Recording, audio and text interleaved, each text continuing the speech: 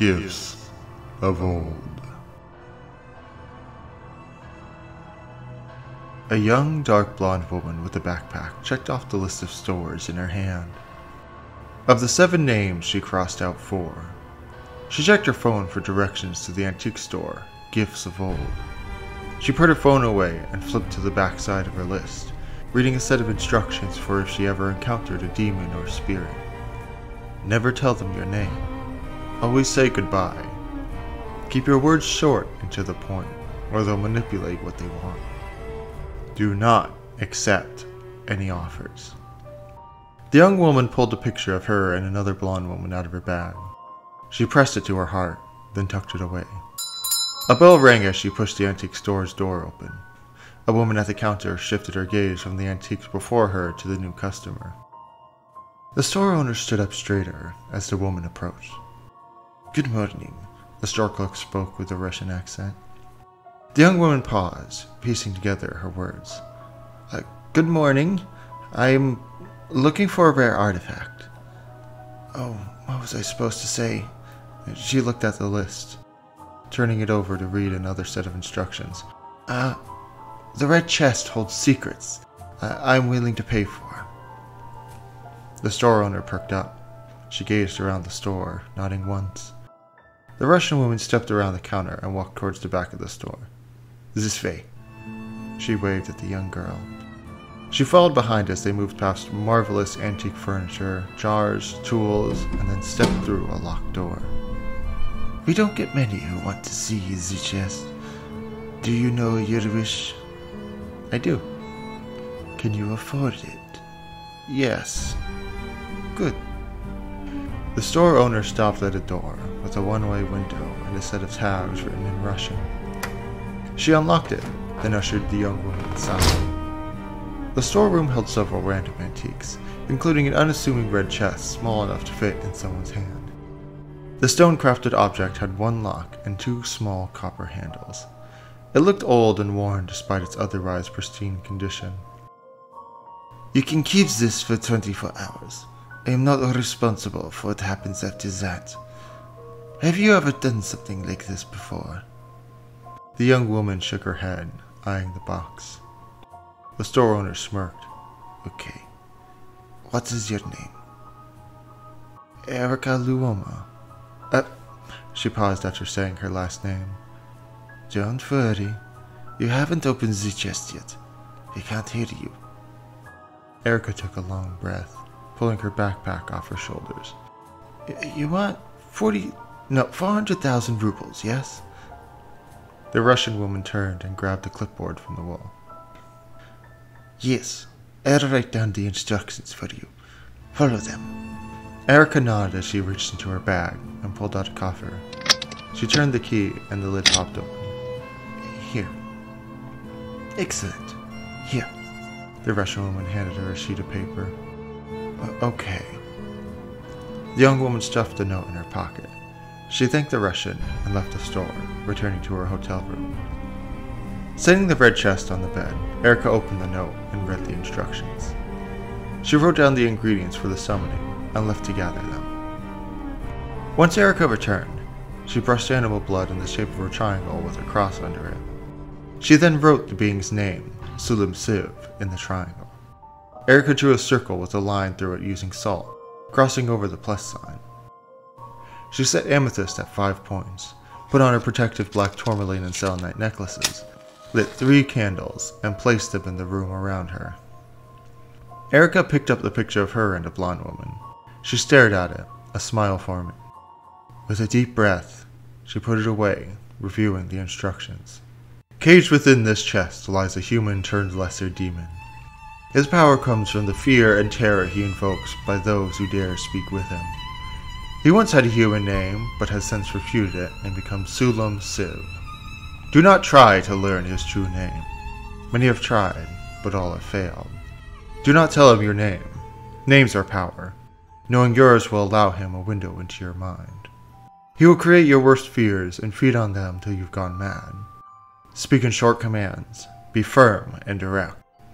Demons cannot lie, but they will bend the truth. Do not answer his questions or trust anything he says or does. Make sure he's always within sight.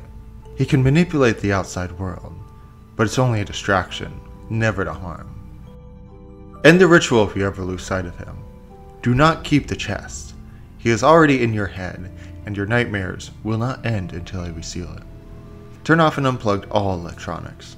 He will use them for energy. The more power he has, the harder he will push. Use candles for light. Never let it go dark. If he blows out a candle, light it without looking away. Erica reread the instructions two more times. Her hand shaking, she placed the key in the lock, turned it, and stood back. Nothing appeared. Another one. She's been busy. A male voice spoke in her head. She resisted the urge to look for it. Erica, a woman's voice spoke. Erica felt her face grow cold. You're not, you're not real, she mumbled. Oh, but I am. A male voice spoke in her head. She blinked, and a pale, black haired man floated above the box. Erica felt her heart sink. Tightening her jaw, she held back a scream at the sight of her father. You will grant me one wish. Is that any way to speak to your father? Erica opened her mouth and closed it, taking a breath. You will grant me one wish, Erica repeated, keeping the picture of a happy reunion with her mom at the forefront of her thoughts. And what do I get in return? The man's voice deepened. I offer 15 minutes of fear, a maximum 30 seconds per day. You will have one year to complete this agreement, or the aforementioned time is forfeit. The man looked to the ceiling, nodding as he looked around. The bed creaked as if someone jumped on it. Erica didn't move, nor did she speak. A candle blew out. She ignored it. I can't wait to see you again, Erica. The same woman whispered into her ear. Erica recognized the voice, pausing to regain control of her emotions. Do you accept my offer? Another candle flickered out, leaving Erica in partial darkness. The black haired man's left eye glowed red. Silence fell in the room as she stood and stepped to the candle closest to her without ever breaking her gaze. The demon's gaze never faltered. The floor creaked and something appeared in her peripheral. You let me die. Now you won't even look at me. Erica heard the familiar voice whisper. She could feel cold, putrid breath on her neck. Erica bit her tongue, holding her breath. She struck the match and lit the first candle without looking away from Sulam. I am your mother. Look at me! The woman shouted in Erica's ear. She felt her eyes grow warm as tears welled. She struck the match and lit the second candle. Salam clicked his tongue like a disappointed parent. So cruel to her, after she came all the way to speak with you. I know she's dead, Erica snapped. The demon smiled as Erica placed her hands over her mouth. Dead, you say? What a wonderful idea. He stepped down from the box, walking to the circle's edge. I will grant you one wish, but Salam lifted a finger, pausing once more. He needs more. Erica's mother whispered in her daughter's ear. She could see the bloody blonde hair in her peripheral. Don't you want to undo what you did? You will accept my terms or we have no deal, Erica ordered. Then your mother stays in the ground, Salam smirked, folding himself into a sitting position while floating in the air. I could offer your father too. You remember him, don't you? Two wishes for double the time.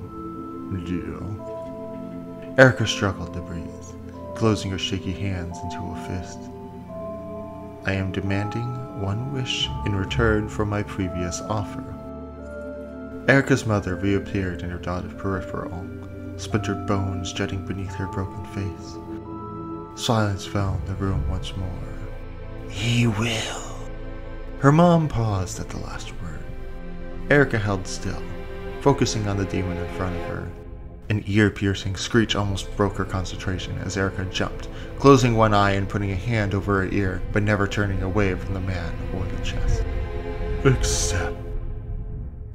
Sulam rose back to full height, still floating in the air. How disappointing to be your father. Forgotten for a woman like her. He nodded his head. Erica never broke eye contact. You will revive my mother to full and proper health. When this wish is fulfilled, she will be in her home suffering from no long term health defects. You will have her back. In exchange, once a day, you will endure the greatest nightmares without protest for 30 seconds. I have 15 minutes in total, and one year to complete this agreement. Erica sighed, a wave of relief washing over her. Agreed. You traitorous wretch! A voice screamed behind her. I'll never see my husband because of you! Her mother cried as she crashed through the window. Erica jumped and turned. She looked back at the box. The demon was missing. Oh no! She sprinted to the chest. Your services are complete. Please do not follow or contact me without my consent. Goodbye. She clicked the box shut, tossing it in her bag, and ran out of the room. Moving as fast as her legs would carry, Erica returned to the antique store, tossing her backpack on the counter. The desk owner stared as the young woman ran in. Please, Erica shouted. I looked away. What do I do? The store clerk reached over and grabbed the box, smirking. Come with me, she gestured, stepping around the counter. Erica followed her. The Russian woman returned the box to the back room, placing it on the shelf. She lay her hands on the chest, then pulled it away.